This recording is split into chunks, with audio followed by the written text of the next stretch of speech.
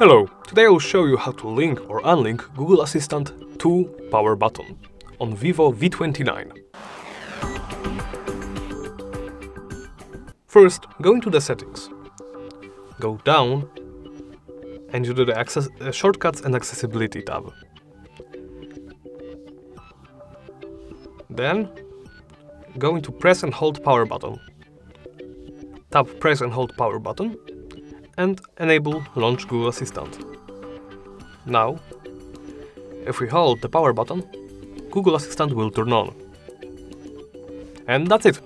Thank you for watching. Remember to comment, like and subscribe.